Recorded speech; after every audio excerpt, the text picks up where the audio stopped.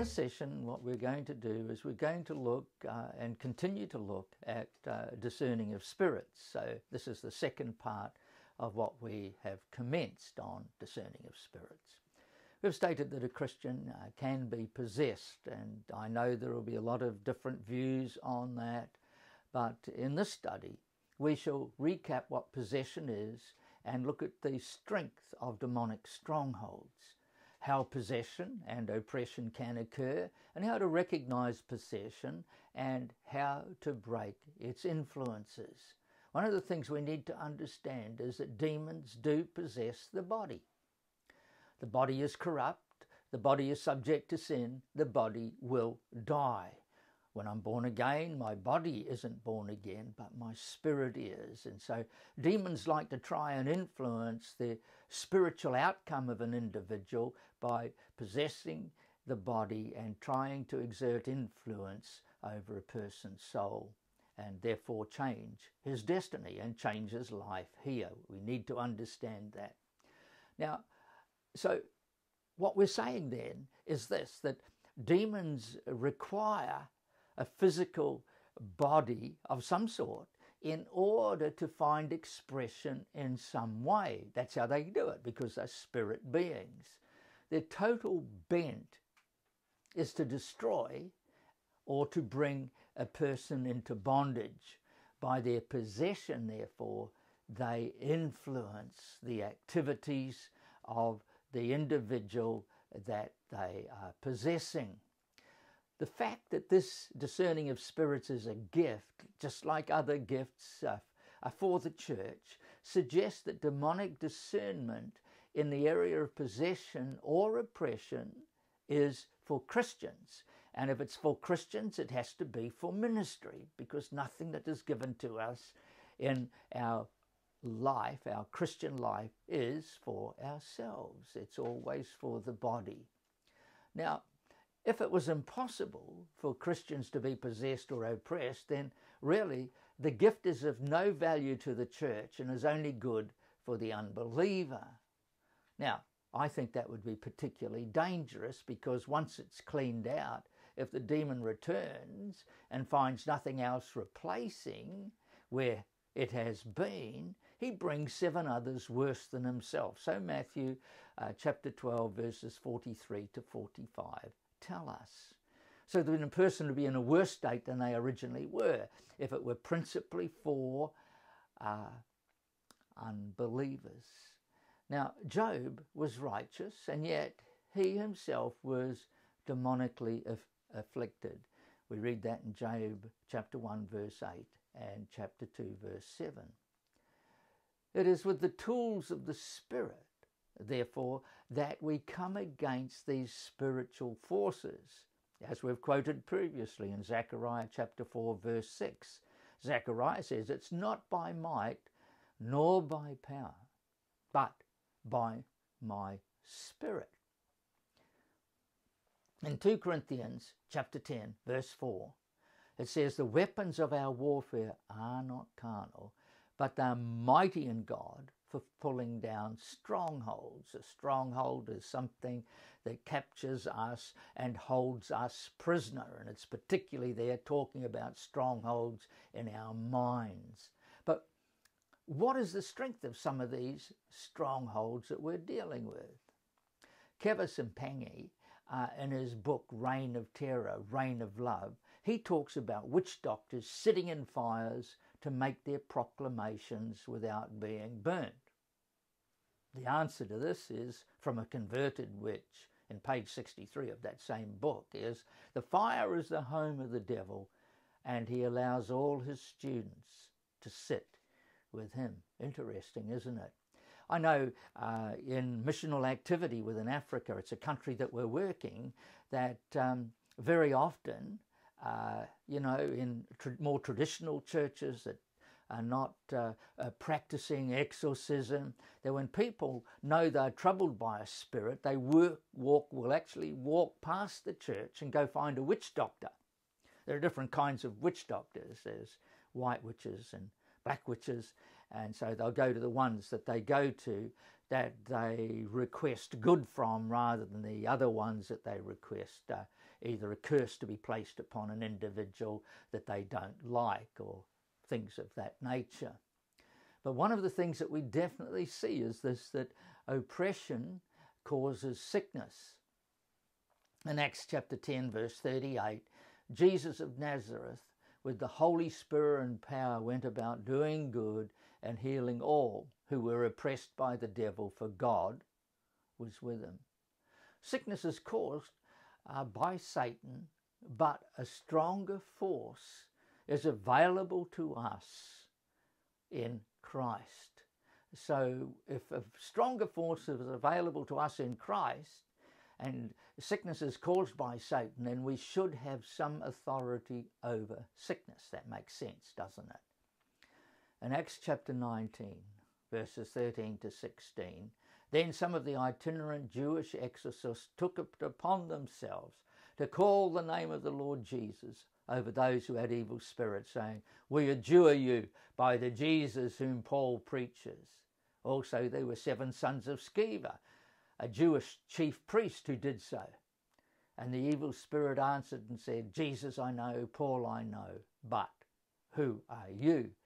Then the man in whom the evil spirit was, he leapt upon them, he overpowered them. And so the seven uh, sons of Sceva rushed off uh, because they were overcome by the man in whom the demon was. Again, we see here the strength of demonic power when a man is possessed. I remember in the early days of our ministry, we had just begun the church, and a young man came in and uh, severely, severely oppressed.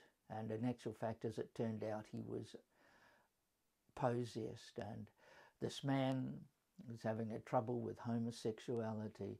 And as we began to exorcise the Spirit, we had numerous people just holding him down, arms and legs, as we exorcised the Spirit from him. And so later on, he was baptized, and I believe that today he's following Jesus, and that was some 40 odd years ago. Another example is found in Matthew 17 uh, 14 to 18. Jesus returned from the Mount of Transfiguration, and there he encountered a demon possessed boy. Now, if we compare the gospel records, uh, one says he was lunatic, another epileptic, another blind and dumb. In fact, he could have been all of those.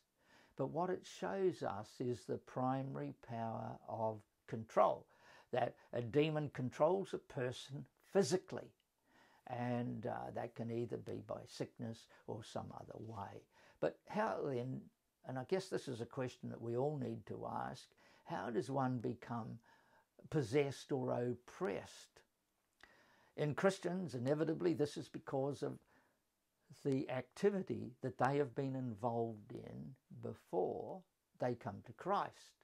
Now, I want to say here are some areas that we will uh, cover right now, which I think everybody seems to have some understanding of at any rate, that these things which are forbidden by Scripture, if we practice them, um, then we are more likely to be subject to possession or oppression.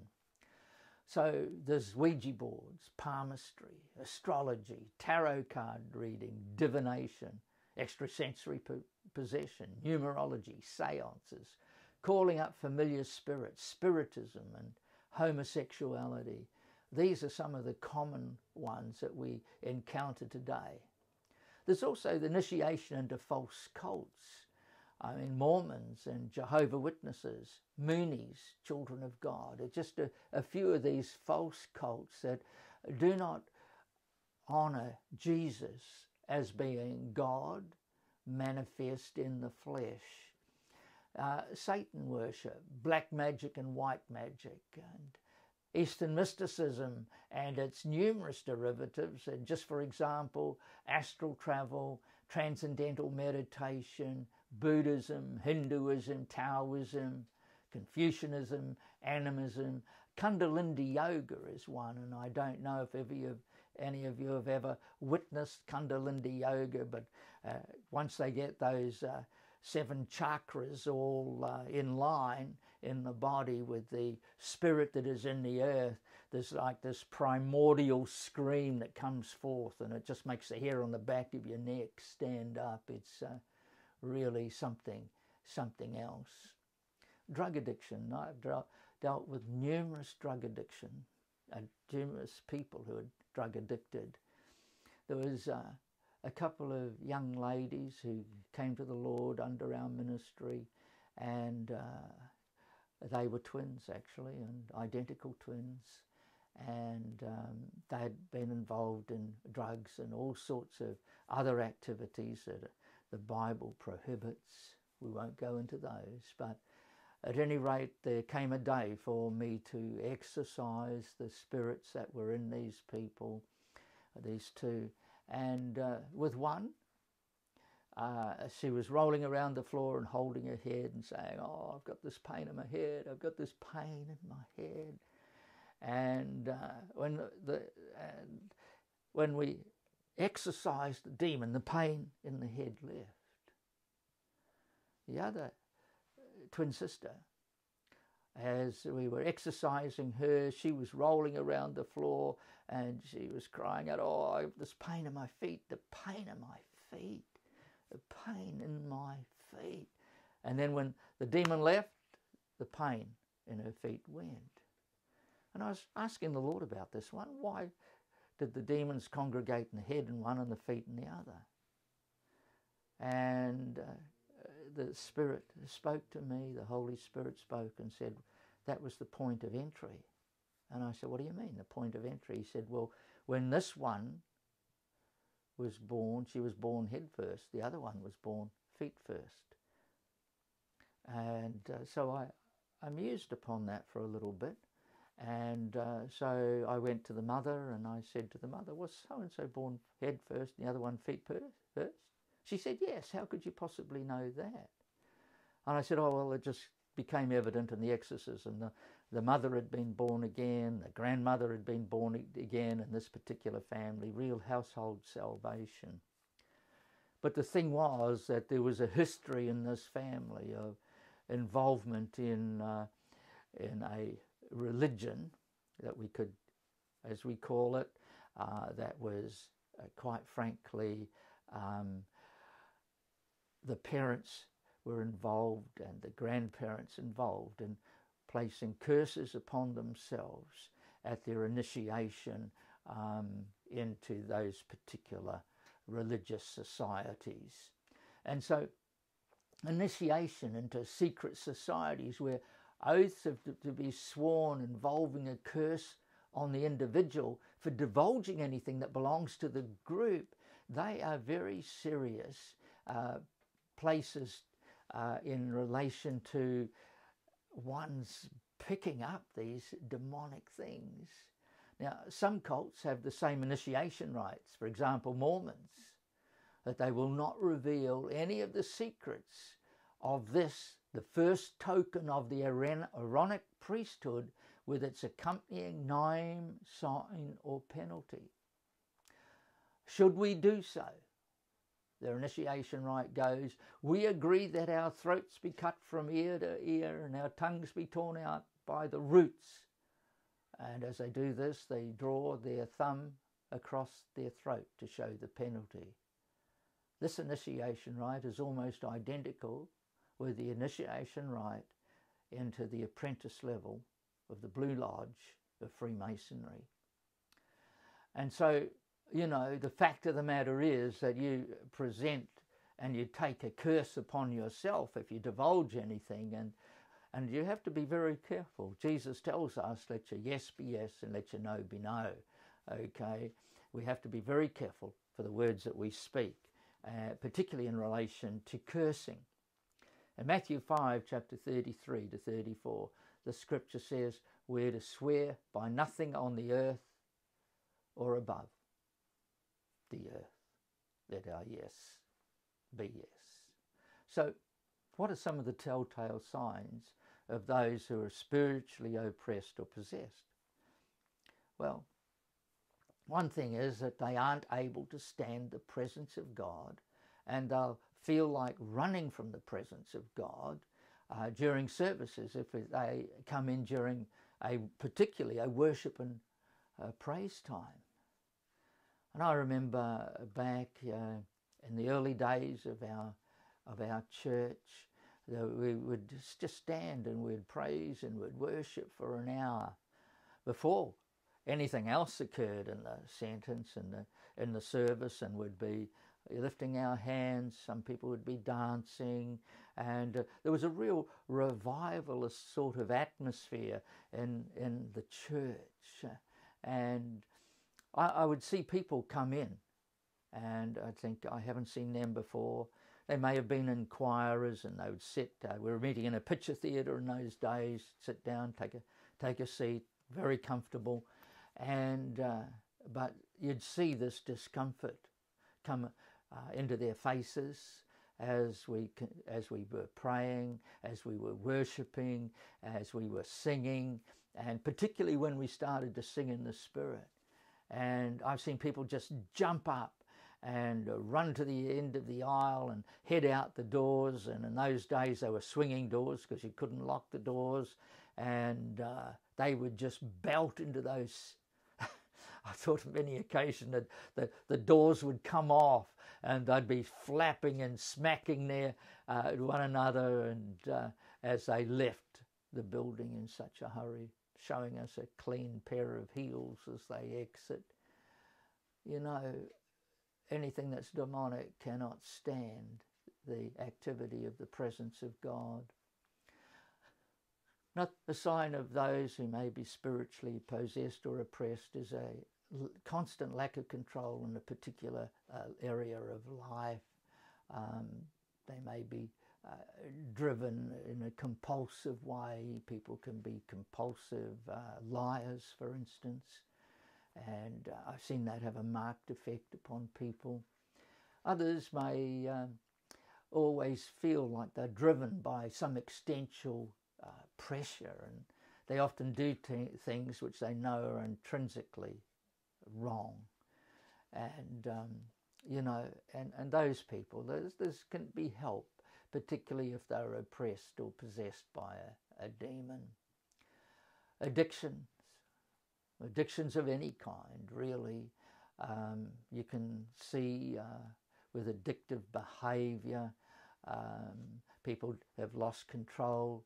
Uh, people with addiction sort of very frequently have a singular focus, uh, a compulsive focus on certain activities and those activities can be very evidential of a sign of oppression or possession. Uh, you know, it just might be drugs. We've talked about drugs, an addiction to drugs, but there are other things that people can be addicted to, like pornography um, and uh, nail biting, you know. But I'm not saying that somebody that nail bites is necessarily oppressed or, or possessed. One of the things that you often see with um, demonic possession when you start ministering to people is some people that are um, possessed, their eyes will roll back and their heads, they may start frothing at the mouth and have violent muscle movements. We can read about this in Mark 9, verse 20. But I remember uh, some years ago at our seminary in, um, in Myanmar, Yangon, in the city of Yangon. and uh, this young man, I was ministering in the Bible college, and this young man who was attending uh, Bible college, he came up on the uh, stage because we had a lot forward for the baptism that night in the Holy Spirit. And this young man came up on the stage and uh, as soon as I laid my hands upon him, his eyes rolled into the back of his head. So I just left him for a moment. I went down and spoke to the principal of the Bible college and I said, This young man, I said on stage, I said, What's his background? He said, Oh, well, um, he was a Buddhist monk for many years and he's come, he was saved, he's come into the seminary, he, wants, he feels a call to the ministry of Jesus Christ. I said, Well, just keep an eye on me because I think it could manifest quite violently. And just quickly explained what had happened. So he kept an eye on me. I went back up on the stage, laid my hands on him again, and started to pray for him. Well, the next, and what I did was, if I feel somebody might manifest uh, and I don't have anybody else that's actually praying with me at that particular time, what I like to do is just grab their wrists and as I'm praying with them and sort of hold their hands up towards the Lord. And this is what I was doing. And the next minute he threw me. And I mean, he did throw me. And uh, I thought, hello, here it is. It's on for young and old. And I started coming now uh, after him in the name of Jesus, taking the, uh, the spirit that was within him and casting it out. At that moment, James, who'd been keeping an eye on me, looked and he, he rushed up on stage, and we both uh, joined in the exorcism. And when this uh, spirit, uh, this religious spirit, this deceptive religious spirit, and the spirit of idol- idolatry uh, had come out of him, he was immediately baptized in the Holy Spirit, and his face lit up. And uh, we knew that God had done a work in him. And he actually became one of our most successful uh, evangelists, working well for the Lord. One of the things I've also noted about people that have been involved in any form of witchcraft is the tendency to rock. And I remember this young woman that we had, uh, she'd been saved out of witchcraft. Both she and her sister had been saved out of witchcraft and she'd come to a prayer meeting and we might all be sitting on the floor and she'd rock with her almost her forehead going down to the, the floor in front and the back of her head as she rocked back and forth. I remember watching her um, on, on numerous occasions thinking there's going to have to be something that's dealt with here. Uh, but we'll just keep an eye on her and see what happens because the, the, the rocking was quite grotesque. At any rate, it all came to a head one night in a prayer meeting. We were all standing around praying, and uh, suddenly I felt something whisk through my hair. And uh, I opened my eyes immediately. I might add, I had hair in those days.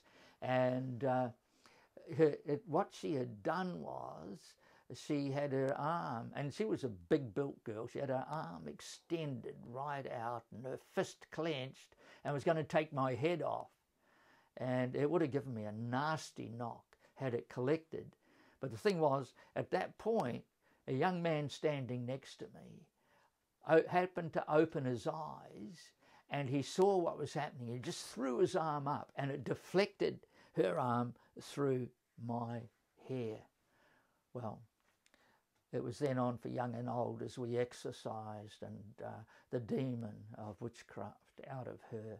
And it, it took a little bit of time, but there were a number of people there that were prepared to hold and assist as we took authority over that demon.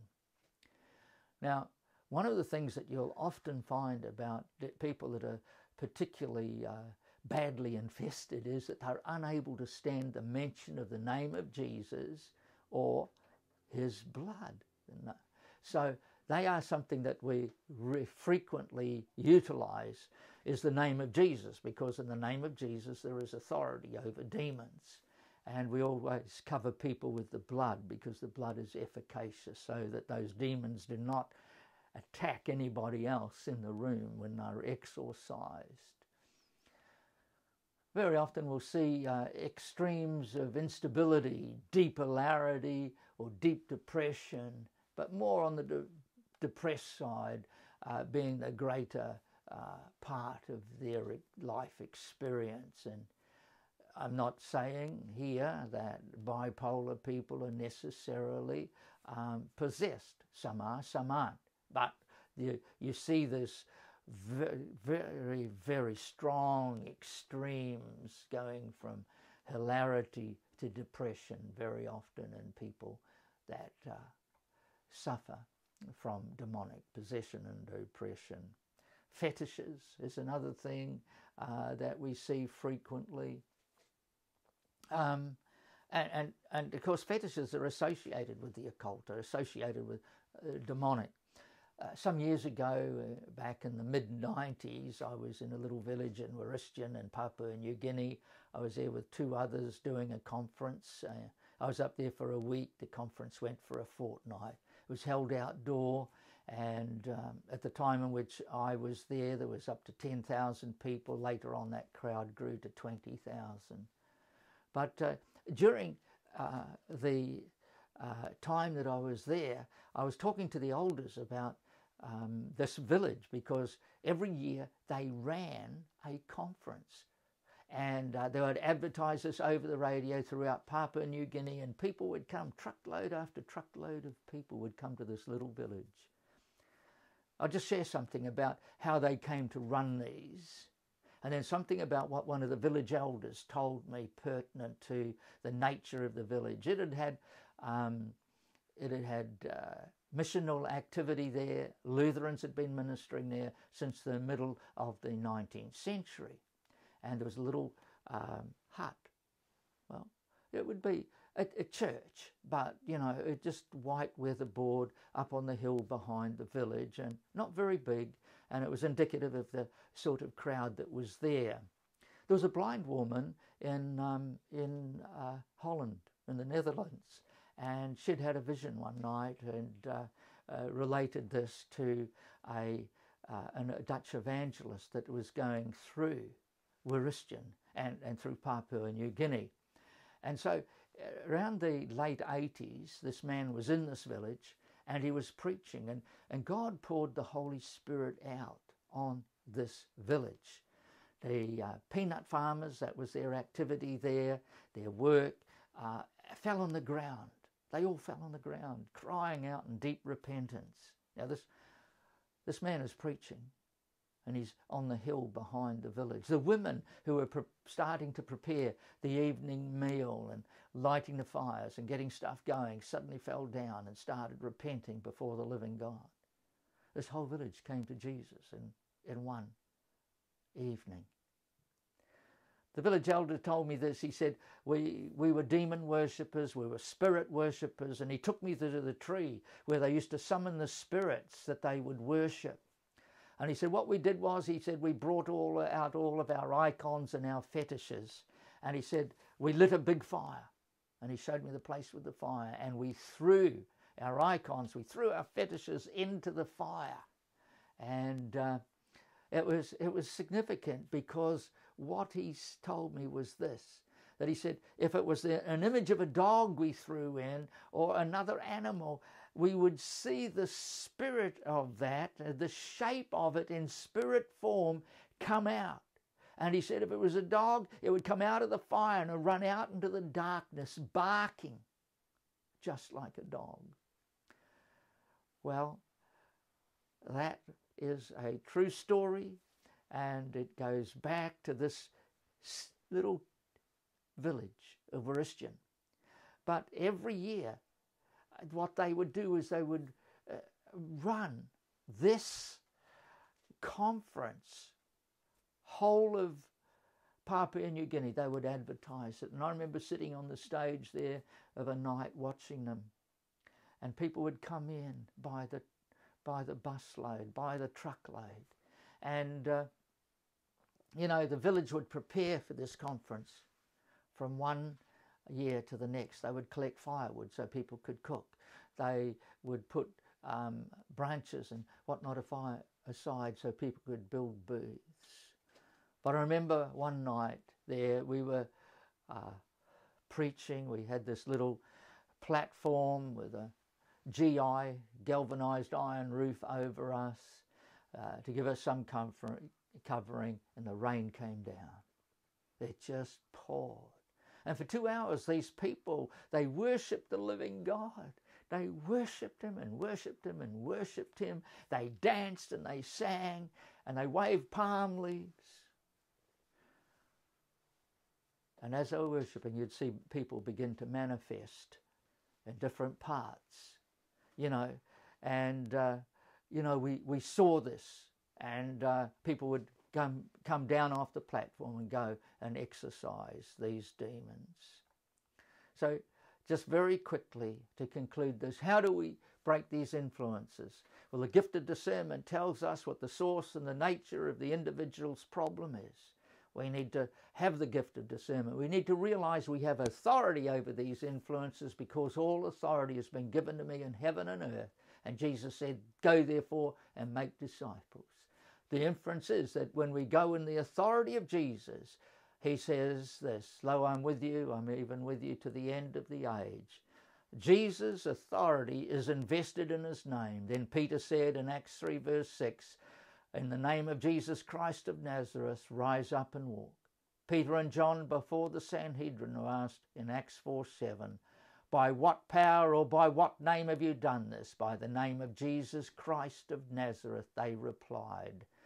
And so when Jesus performed his ministry, it was as the anointed one. And so we too have an anointing of the Spirit that enables us to go around doing good, healing all that are oppressed of the Spirit. In Acts 16, verse 18, the spirit of Python or divination, as the scripture says, Paul took authority over and he cast it out by the Spirit that Christ had placed upon him, the Holy Spirit, to command.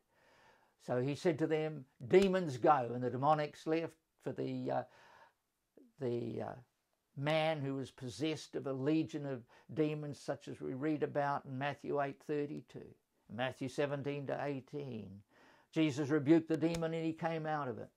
Speaking of the epileptic boy. In Mark 1.23, now there was a man in the, in the synagogue with an unclean spirit. Jesus cast it out. In verse 25, Jesus rebuked him, saying, Be quiet and come out of him. So when the unclean spirit had convulsed him and cried out with a loud voice, he came out of them. But the thing that we need to understand is you need to bind in order to loose. And in Matthew 12, verse 29, how else can a, one enter a strong man's house and plunder his good unless he first binds the strong man and then he will plunder his house? In Matthew 16, 19, whatever you bind on earth shall be loosed in heaven and uh, whatever you loose on earth will be loosed in heaven. Sorry, whatever you bind on earth will be bound in heaven.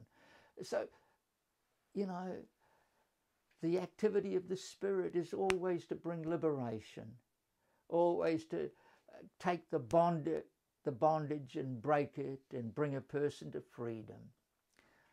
Now, one essential that you need to do before you get involved in this type of ministry. Cover yourself and those around you with the blood of Jesus Christ to protect you. In Matthew, sorry, in Revelation 12, verse 11, it says, They overcame him. They overcame him. How? By the blood of the Lamb. In deliverance ministry, we don't pray for God to do it, He's given us the authority. Remember, Demons may possess either alone or united, no matter what the number is, still in the name of Jesus, that the demons are removed. Mary Magdalene was possessed of seven demons, for instance, in Mark 16 9. The maniac from the tomb, he had a legion, Mark 5 1 to 19. And the Phoenician's woman daughter was severely demon possessed. So God bless you. Just trust that you've learned something from this uh, session today.